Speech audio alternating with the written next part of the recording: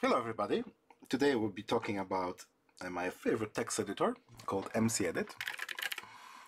Um, yeah, I use this editor for mm, 23 years and I really like it.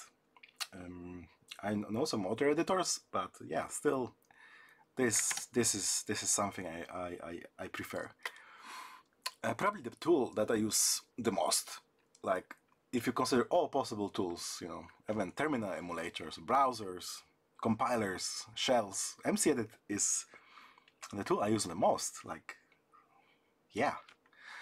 So why is that? Um, yeah, let's let's let's dive into it. MCEdit is a part of Midnight Commander, which is this file manager, which you know deserves a video on its own. It's um, based on the ideas from two-pane file managers like Norton Commander from DOS era and so on, which is cool by its own, you know, for browsing and moving files, copying, renaming, um, viewing, deleting, archiving, checking things, deleting, and so on. And if you're new to the Linux, it's actually pretty cool to, to just browse some files and, and try to understand them to get um, expertise in a file system, like files. Or maybe you're scared of shell and you want, but you want to do something more than with mouse. You you can do things here. Um, um, yeah, it has support for, for, for different macros, compression, and so on. But today is not about the editor. Uh, maybe the only thing will change is the color uh, for a second. This is usually how it looks by default. Uh, like pale blue, kind of bright with this green, green teal selection highlights and white beige windows. if it's uh, not looking like that, then probably something is changed on, on your system. If it's looking too bright or contrast is bad, then make sure your terminal editor, terminal emulator has a reasonable color palette. Try playing with that. Different different terminal emulators and different environments have different defaults. Um, it should not be too bright. Other um, should be readable, but I used this color for, for, for decades, but a few years ago I switched to this darker, darker thingy. Uh, this one, which is a bit easier on eyes, especially when you switch between constantly between like dark shell and editor. Um, you don't want constantly switching brightness.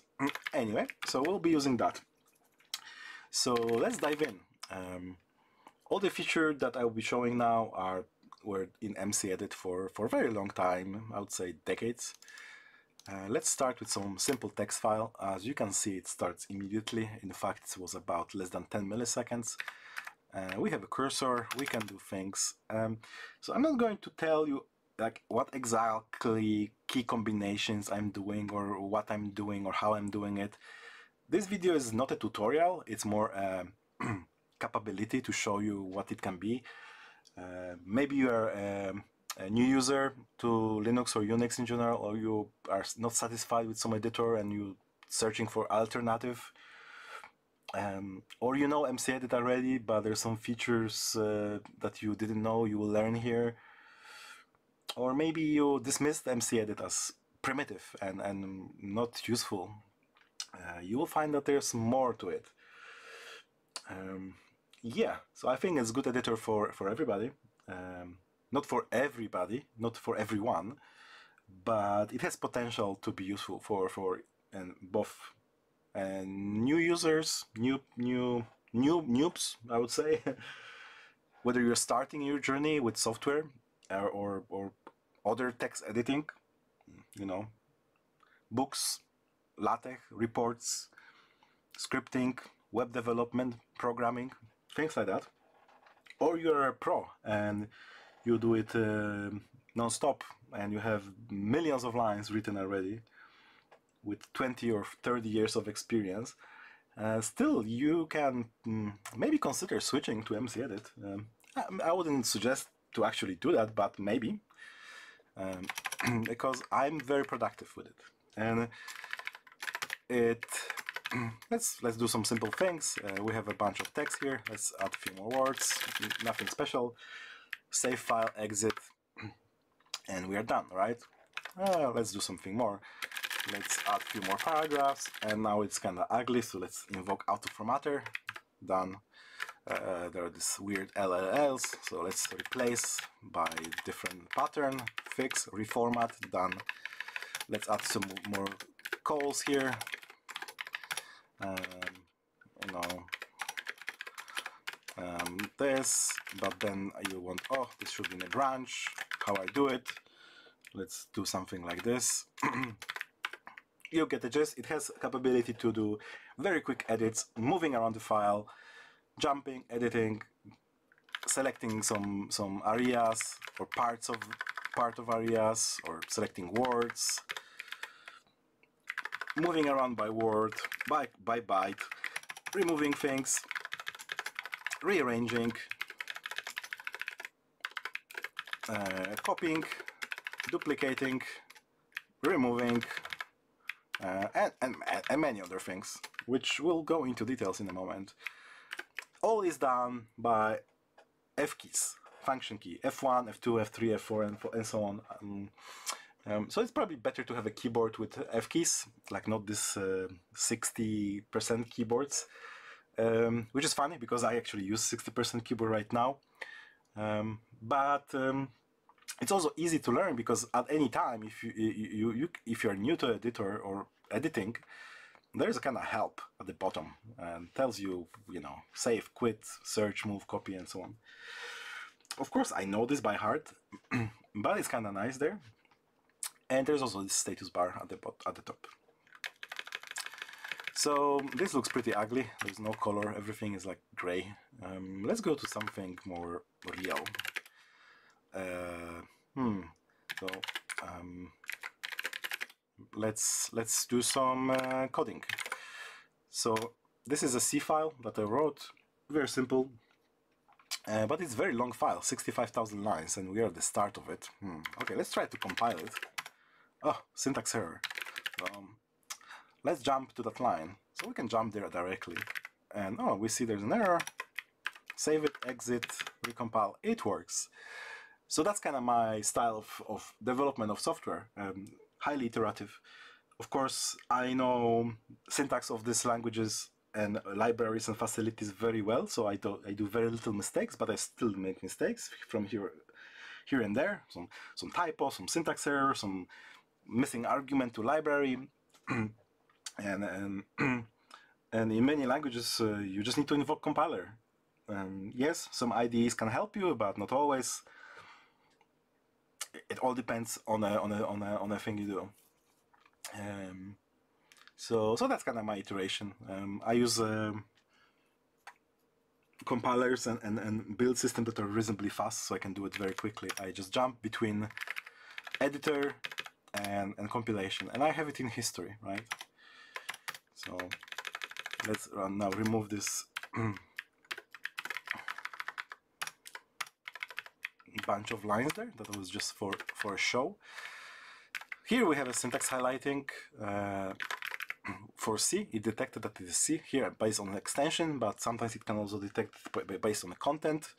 For example if there's include at the first line it will probably know that it is C um, or something similar. Uh, another thing for programming is if you have a cursor over curly braces, it will highlight the corresponding closing curly braces you can press Alt B to go to there and its opposite is also the same.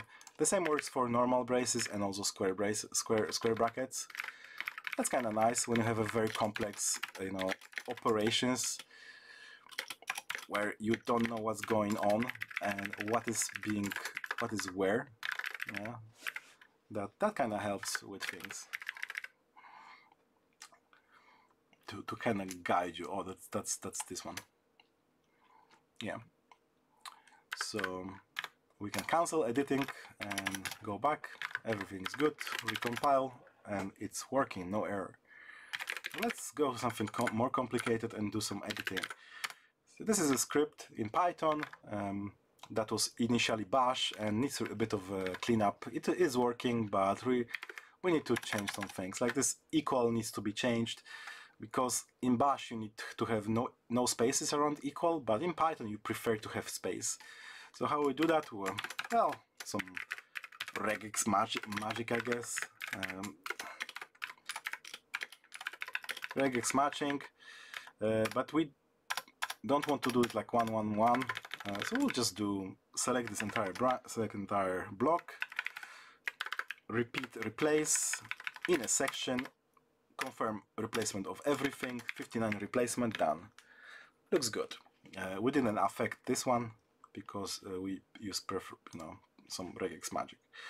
Uh, now we need to ad adjust this uh, indentation here. Mm, mm, you can do this by hand. That's okay. And you know who is in a hurry it takes just a few seconds but maybe we can do a little bit better. So we copy just three spaces and copy. It that's okay but you know if it's uh, a bit more than uh, 10 uh, maybe there's something better we can do. Let's unveil block marking. So I just selected a column a rectangular selection using these mark columns and I'll copy it. And now we are indented everywhere aligned we do some general other stuff uh, maybe we want this to be shorter uh, not have version so we do another block selection remove and we are done you know. Things like that um, are possible. This is just a uh, demonstration. Uh, let's say we don't need we want this to be now in a function so we will select again this branch. We'll indent it by some magical combination of keys. And we are indented. Let's say these things are not really supported anymore and there might be more cases. Uh, we will do some more fancy regexps that we can do and now are commented. Uh, with 2 there is no point of doing this with regex you can just do it manually but maybe there's some other places you wanted to do it So selecting blocks and operating on blocks is very, very common. We can, for example, select uh, this non-rectangular block. It's just not just lines, it's exactly this bytes and remove it. Now we remove the support for old code, fix some typos, remove some code that is not doing anything, and have it and maybe run it, right? Um, so, so that's all good. Um, the MCEdit also has syntax highlighting for other languages, like HTML example.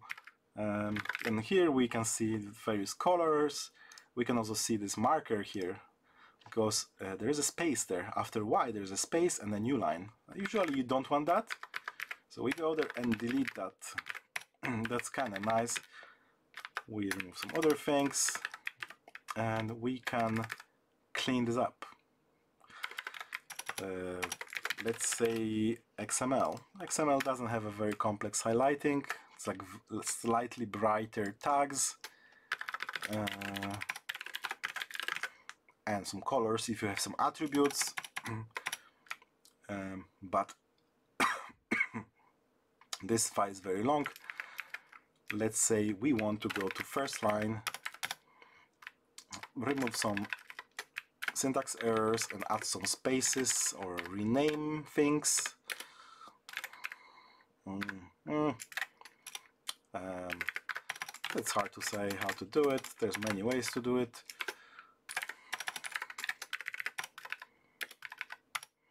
And it changes one by one. Maybe we want to do it only some some of them, like every second. And then we are done. So we cancel and we are done or maybe we want everything we say everything please 99,000 replacement done or maybe we want to undo it um, then we will need to have a copy uh, for simpler undos we can um, just edit file. For example edits uh, remove things. Or maybe move move things around. Remove some other words. And now we hmm, we want to undo it. So we can undo with word by word. With control U. Which is very handy. Or we can say not don't save on close. And we are back to where we started uh, if you so these are these are ma major major things uh, in this editor if you go with F9, you will see all the other options available. For example, copying uh, to a file, so Control F, enter, and we can open another file, maybe new file, and paste it. Yeah. We can also select and paste it using X11 clipboard. We can do selections inside. We can press, use mouse to navigate menus, and so on and so on. This is very useful for seeing like previous searches, which might be some complex regexps. They are remembered. So it doesn't remember just position in files. it also remembers previous replacements, strings, and um, another thing worth mentioning is that there is a config file uh, and configuration. So not this one, it's not a lot, but there's some options that you can modify. Um, I usually don't use confirm before saving. everything is up to you. You should experiment. I recommend removing these fake half tabs because it's enabled by default, and I think it's a very very bad choice. Please, please, please disable this. Please, very very very very very pretty. Please don't use that. Um, it makes everybody annoyed. Uh, that reviews your code, including yourself uh, later. You can also change syntax highlighting, uh, key maps, menu files, and so on. And there are some other things to run external tools, spell checkers, record macros, change languages, and everything else is mostly the things that are in this uh, three first menus, file, edit, search, and some of in command. Mm, you will never use it through menu. Uh, you will learn all the shortcuts to, to, to that. Yeah.